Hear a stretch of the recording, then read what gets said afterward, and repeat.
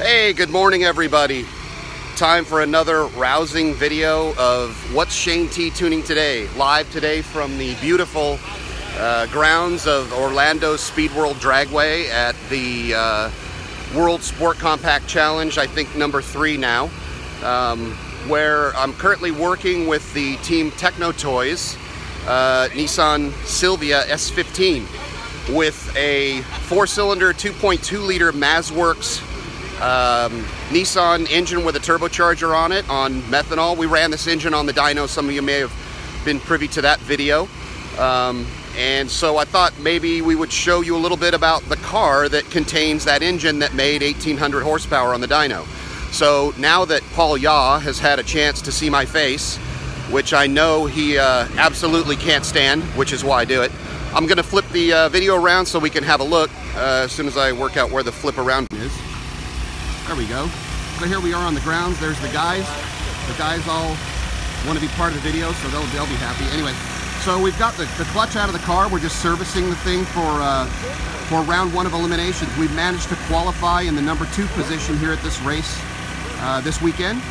Uh, we ran uh, our new personal best speed uh, in qualifying run number two, a 655 with a 6 at 219.86 miles per hour and we uh, came back in the in the fourth qualifying session and and kind of ran the same basic numbers 655 with a 9 at 219.51 I think it was miles per hour. So anyway this is the uh, this is the beast. It's, it's all it's all apart for service like I said. We're trying to get ready for eliminations coming up later today round one. So this is the uh, this is the clutch. Obviously like any other clutch it goes behind the engine and it tries to uh, connect the power that the engine makes to the rest of the drivetrain. So hey, there's Kerry Bales. We came to, see, we to came show to show Paul, Paul our Paul our faces. faces. Oh, that's cool. That's awesome. What's up, man. Paul? We should let's flip it around. We'll all have camera faces. Look, just just for Paul, we have a selfie live video moment from Orlando Speed World. So how about that? So in in your face, Paul Yaw. fuckwit. Okay, so anyway, so uh, in the bell housing here, we have the cross shaft that runs the uh, the fork for the, the throwout bearing. This is the throwout bearing itself. This actually pushes on the backside of the fingers on the clutch to release it, just like any normal throwout bearing would in any kind of a car. Uh, and then we have this sensor here, which is uh, a speed sensor. Picks up a magnet on the uh, input shaft and tells us what the speed of the input shaft going into the transmission is. And we can compare that to the engine speed uh, so that we can uh, understand how much slip we have in the clutch. We're using a, uh, a TF uh, or Easy Motorsports uh, lockup cannon. This is what we call a lockup clutch. and we have this position sensor on the arm here so that when we actuate this lockup, we can see the exact position of the cross shaft and therefore the throwout bearing and know exactly where we are compared to the fingers themselves. Um, Miguel, our clutch expert, is in the car working on the clutch at the moment, so I was going to try and take a shot of that, but I think I'm going to have to go to the other side of the car to give you any kind of a reasonable view of it. So let's head back around to this side of the car. So, Miguel, say hello. Hi. Good job. That wasn't hello, that was hi, but anyway, that'll work. okay, so this is the uh, this is the actual clutch unit itself, and this is just like any other clutch you'd have in any other sort of a car on the road, except that it has multiple discs. So if we have a look on the top side, we can see that there's multiple discs and floaters in between this this really complex looking pressure plate. Uh, and the pressure plate assembly has these weights on it, these bolts. Can you can you point to where the uh, counterweight is? So these bolts go in these clutch release arms, and the centrifugal force as the engine revs up helps the clutch uh, apply even more force to clamp together and, and stop slippage. Now this this clutch I said has a lockup on it, and so what that means is that we effectively have two stages of uh, of the uh, clamping force. We have the primary finger, which is actuated with the pedal, just like any normal clutch would be. And then we have the secondary lever. The secondary lever has a longer slot in it. And what happens is, we use the uh, clutch ram on the outside of the bell housing. It has a pneumatic hose to it, and the ECU watches uh, the position of the clutch using the sensor. and then we we tell the, the, the ECU where we want the clutch to be at a given point on the racetrack, and it modulates the pressure in this ram that has this arm against this arm, where this, this ram shaft runs into this arm here where that bearing is, and stops it from being able to allow that secondary set of fingers to apply clutch load or clamping force to the clutch. So that allows us to have a clutch that will slip a little bit when we, when we first let the pedal off on the starting line. And then at some point down the racetrack, we can add additional clutch as we modulate the position of this, this ram. I'm gonna try to shove it in here. Okay, so that's all the way in. And that will then allow this arm to come back based on the position that we command to allow the, the throw out bearing to move away from the finger and allow the finger and the weight on the finger and centrifugal force to apply more clutch force and make the clutch lock up where we decide we want it to lock up. So anyway, that's how the clutch works. This part of the car you've seen before if you've seen the uh, dyno video. This is exactly what you saw in the dyno. Uh, this is a Gen 1 Garrett 88 millimeter GT55 style uh, compressor and turbine housing from uh, TiAL. We have a 60 millimeter TiAL wastegate. Um, obviously, MazWorks did the handiwork on the header. Um, this is, again, our SR20. It has a MazWorks Racing billet block, which is there. We use the stock Nissan casting cylinder head.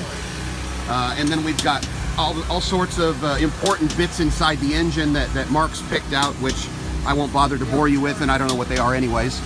Um, we have a crank trigger down here on the crank on the crankshaft behind the balancer. There's a 60 minus 2 trigger wheel here. And then this is our our uh, added camshaft position sensor that's a Hall effect and there's a there's a magnet spinning around on the cam gear that it picks up. Ice water to air intercooler, um, radiator for this uh, water that flows through the cylinder head, and obviously the fuel cell. We run uh, three sets of injectors on this engine. We run two Siemens Deka 220 injectors and also a single billet atomizer 500 injector.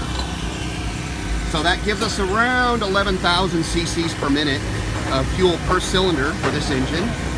On the uh, engine dyno, we were able to achieve about 62 pounds of boost. But in the race car with this snorkel going to the front of the, the, the body, and because of the fact that the car runs over 200 miles an hour, we gain about one or one and a half pounds of positive pressure on the front side of the turbocharger. And since the turbo is a multiplier of, of pressure on the inlet side to the outlet side, and our pressure ratio is about six to one, one and a half pounds of pressure times six gives us about seven or eight extra pounds of boost that we couldn't make on the dyno. So we can make almost 71 pounds of boost at the finish line with this car that we couldn't make on the dyno. Let's see what else we have here that might be entertaining or interesting. David, say hello. Hey, what's going on, guys? That's David. He's the uh, other uh, car chief on the car. These guys do all of the uh, actual work. I get to sit inside and, and look pretty uh, and, uh, and poke the keys. So I've got the easy job. These guys have to do all the work. We use a uh, Liberty five-speed transmission, and, and that's the uh, that's the transmission unit there. Um, these, this is a, a, a sort of a, a, solenoid array that allows the transmission to be shifted pneumatically with air, and then the ECU, of course, controls the shifting. This stuff all comes direct from Liberty's gears. Um, and we, we, simply take over the shifting part of it external to all of these components. So these components exist on any any other air shifted uh, Liberty style transmission. Uh, and we just have the ECU running a solenoid instead of a button to make it shift, which is really standard. Probably everybody with air shift has auto shift that way as well. Somebody making so much noise we can't talk, but that's all right. Have Motec C125 dash display. Link, it's okay if I turn the battery on? I turn the power on so you at least see the dash lights up. It's kind of boring to see a dash when there's a no power. So there's the dash display. Uh, let's see, changes when he goes to burnout mode so that he knows he's in burnout mode. Uh, when the engine's running, it changes from a white background to a, back, a black background. That it does that when the engine synchronizes so that uh, in the case that the engine won't start, it gives us at least a clue without having to put a laptop on it of whether or not it sees the cam and the crankshaft sensor signals. If we saw it, uh, that the dash stayed white while we were trying to start the engine, first thing we do is look for RPM and that'll tell us if we've got the crank sensor signal working. And if the crank sensor signal is working and the dash is staying white while you're cranking, that means it doesn't see the cam, which means hopefully we can quickly, you know, go in and plug the camshaft sensor back in, assuming that was what was wrong with it. But it's just a way to keep track of what's going on without having to have a laptop on it at the last minute. Lots of times at the races, last minute things happen and get you freaked out up on the starting line when your car won't start, um, which of course you should have started in the pit area, but sometimes things happen between the uh, pit area and the starting line. And uh, I don't know why they happen that way, but just the race cars, man, they figure out a way to break themselves sometimes without even doing anything. So uh, the taillights here are flashing on and off. That's just uh, the uh, Motec PDM is running the, uh, you know, the whole car as far as power goes. So there's no relays or fuses in the car. It's, it's all in the power distribution module that's programmed with logic to do different things at different times. So I have, uh, one of the things I have is that while the battery's on, um, the tail lights will continue to flash about every 35 seconds for one second or so. And, and the only reason that that's the case is that, uh, yeah, way too many times I've uh, been with a with a car where the race car got put in the trailer at night uh, and no one noticed the battery switch was on. And so the, you come to the next morning and the battery is completely dead. And most of us are running lightweight uh, lithium polymer batteries and those kinds of batteries, when you run them down, you can't get them back. So of course you take yourself out of the race uh, for one small mistake. So anyway, the idea is that with the lights flashing every 35 or so seconds, at some point pushing the car in the trailer, someone's going to notice, hey, the battery's still on and switch it off, or at least that's the plan. Anyway, dual parachutes, uh, it, like uh, any other car that goes over 200 miles an hour would have. This is obviously right side drive, so this is a little bit different than uh, most of the cars I'm used to working on. But other than that, it's pretty much standard. This side of the car has the complete vehicle electronics inside of this box, which was built by KSV Looms, Kevin Van Cleve in Sanford. Uh, I'm going to go to the other side of the car, I think, because I can get a better view. Maybe I can, maybe I can have a look here at the uh, front side of this box. So you have all of your interconnections there are obviously military grade, mil-spec wiring, and the Ethernet connections there, which is the one I plug the cable into and make tuning changes with but I'll go to the other side of the car. The idea with the uh, electronics we call a jewelry box um, is just that uh, housing everything in one place uh, with vibration mounts and out of the way of things like this giant transmission that's going in and out of here just hopefully gives us a way to protect the electronics a little bit better uh, and keep bad things from happening to them, which tend to happen on a race car. Uh, the other cool thing is that all of the connections that need to go different places can be done inside of that box. And uh, therefore you don't have to try to have those connections in part of the loom that's running through the rest of the car. You can make all your connections in the box. Inside the box it can be terribly ugly and uh, no one has to see it on the outside of the, uh, of the, of the harness or inside the car. So these are the spark plugs we ran well, actually, we've been running the same spark plug since Maryland. So anyway, these this have got a few different runs on them. Again, we run methanol. This is a uh, this is actually a uh, uh, Denso Nippon Denso spark plug. So that's what uh, that's what we run in this in this car, and that's kind of what the what the plug looks like after several runs um, on methanol. We run these uh, motorcycle coils, which uh, wasn't my first choice, but but Mark actually insisted that we use them because they fit the engine so well and actually they work really well. I'm very impressed with how they perform. We have a uh, M&W Pro Drag CDI box and that's taking care of the ignition duties and uh, yeah, other than that, pretty much uh, your standard four-cylinder drag race car.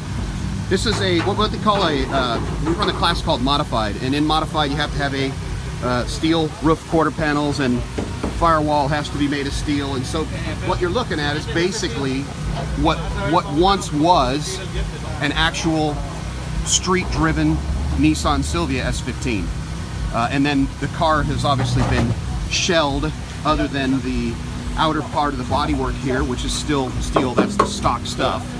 Uh, and it's got this frame, this uh, tube chassis like you have in any other sort of a Pro Mod. It's just that it has a steel body wrapped around it. And so it fits the modified category rules. So anyway, I hope that was uh, a little bit of an interesting look at uh, at this car. We uh, we're number two qualifier this weekend again with that 655. So with any luck, uh, we'll be able to uh, hopefully take our performance and turn it into a uh, turn it into a win. So uh, thank you for tuning in. If you uh, if you enjoy this video, please please share it. And uh, if you want to follow me, you can follow me on Facebook, Shane Tecklenburg. You can find me at Tuned by Shane T on Facebook, uh, Instagram, Tuned by Shane T, YouTube, Tuned by Shane T. Uh, pretty much all things Shane T. So, from the Trinidad Tobago pit area in Orlando Speed World, signing off. Again, thank you for watching.